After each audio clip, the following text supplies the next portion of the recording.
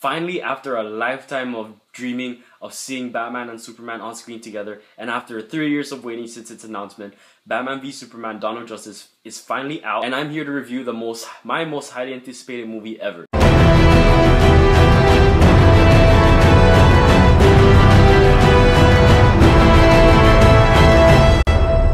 What is up everybody, Knight Batman here with another movie review, reviewing this time Batman v Superman Dawn of Justice. And I will warn you that this review has some spoilers in it, so if you haven't seen the movie yet, please do not watch this review, as I will be talking a little in-depth with some things about the movie, especially things I liked and didn't like. This movie takes place a little after Man of Steel, uh, how the world deals with Superman being introduced to uh, Earth, and also, uh, you know, some of the hostility they they face towards him, and also most especially how Bruce Wayne slash Batman feels towards Superman, especially after he was actually there during the incident in Metropolis with the Black Zero and uh, Zod and Superman's fight. So, um, you know, he is really hostile and paranoid about Superman because of uh, what he's capable of and seeing all the damage left in the wake of their uh, arrival. So he he's been preparing and getting ready to.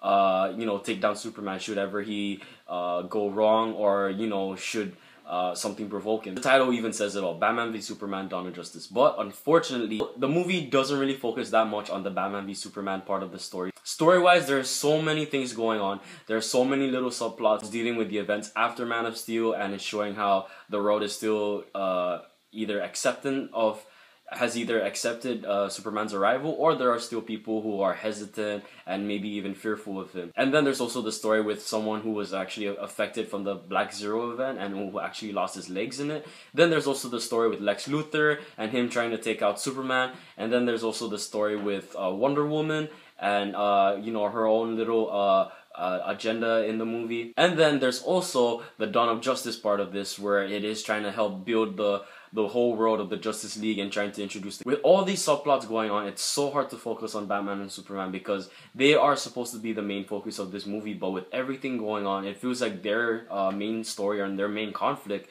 is kind of minimal compared to everything else, or at least it just feels like it had to be balanced out with everything else that's going on. Some things that I was also really excited for, like the the Senate hearing that involved Superman, I was really expecting more from that scene, but it was a lot shorter than I expected. This is actually one movie I have to admit I had to see just a second time just so that I can give a more uh, final standing point for this because I when I first saw it I was pretty split on it. Zack Snyder did take out 30 minutes of the movie, but he will be releasing uh, the movie with those extra 30 minutes in the summer on Blu-ray with the ultimate cut and that'll be rated R. So I'm hoping that one will really improve the story because there's just so many subplots going on that it like sometimes it felt like they jump between too many scenes too much and uh, sometimes they don't always uh, really bridge together perfectly. But if you kind of like like sit back and after viewing, you like kind of look at the whole movie, you can see how it fits in. And let's just also talk about the big climactic fight that involved Doomsday, Wonder Woman, and Superman. First off, as a, as a fanboy,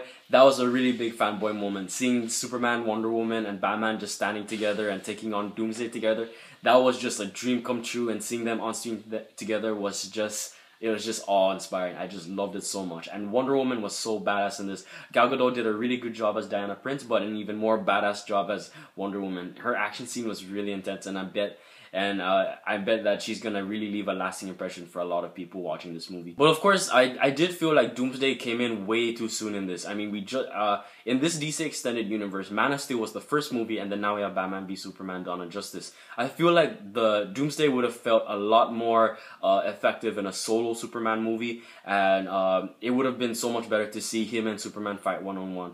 And I will say that this is a really big spoiler. The fact that they already used the death of Superman story here because of course Superman does give his life to fight Doomsday. I guess it doesn't really feel impactful when he actually does uh, when he does die because it just feels too soon and you know you're still kind of growing in to uh, getting attached to Henry Cavill Superman. And I actually really like Henry Cavill Superman. I like him more here than in Man of Steel. Uh, he was good in Man of Steel, but I guess since there's a lot more material for Superman in this, it's really nice to see, see. It's really nice to see him shine in this movie because I really like this version of Superman by Henry Cavill. I just wish that Doomsday was saved for a later point and that maybe they used another main villain for them to fight in this.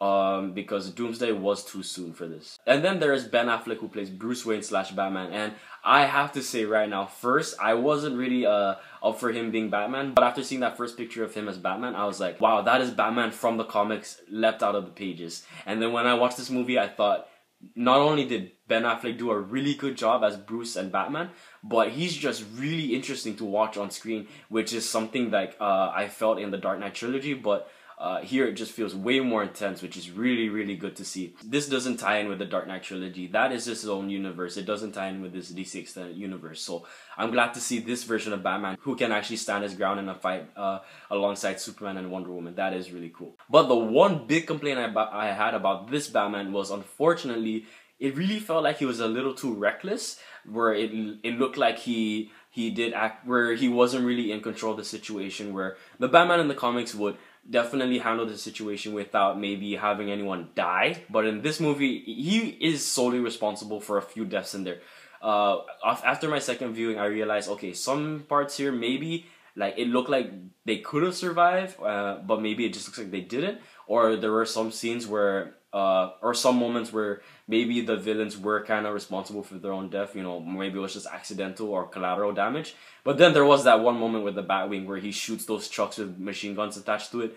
Those guys around it and on it are definitely dead, and I really, really didn't like that the first time I saw the movie. I do not like seeing Batman killed because that is the character. He, uh, sure, when he first came out, he he has killed people before, but then the the character, you know, uh, when Bill Finger came in, they made some changes to him, and he had that big moral code against killing, and that's what I really enjoyed about him. So I guess after that second viewing, I kind of let a lot more slide because it did feel like some of it was accidental, especially that flamethrower part. I felt like maybe he could have uh, disarmed that guy a little better, but maybe when he shot the tank, he didn't expect for it or wanted to blow up. Maybe he just did it so it wouldn't work properly, but.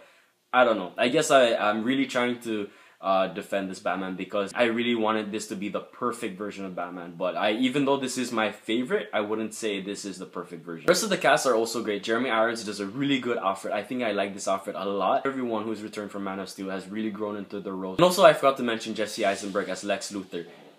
This guy, I wasn't really expecting much from his portrayal because a lot of his roles they do feel the same so you do get that vibe here but i do like how he did add some craziness to lex luthor because Lex Luthor is a smart character, but I did like how Jesse Eisenberg added a creepiness to him, which is really interesting to see and uh, really did make him for uh, a creepy villain, uh, especially towards Superman.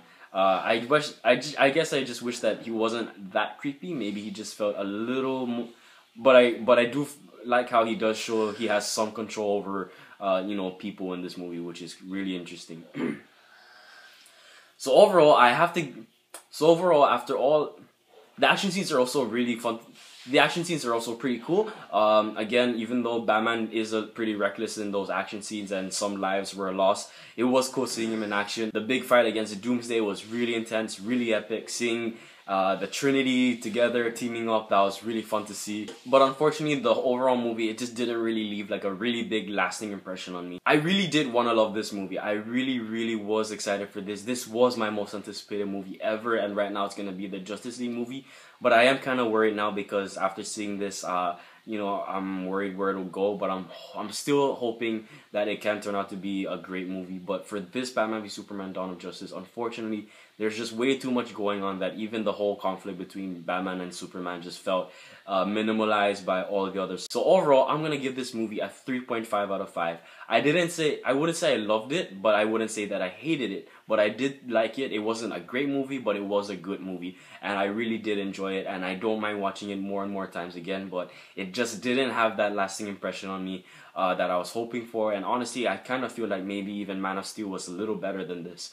And that is kind of sad to say, but it is just the way I feel. So I do give this movie a 3.5 out of 5. I'm hoping maybe I can do another review when the Ultimate Edition comes out in summer on Blu-ray. I will definitely buy that because I want to see what this movie could have been with those extra 30 minutes. And I, I felt like it really did suffer from those minutes, from those scenes that were cut out and from scenes that they probably could have done without. You guys don't have to listen to me. Definitely go check it out. There are people who are really loving this movie, so who knows? You might end up loving. Thank you for watching and take care.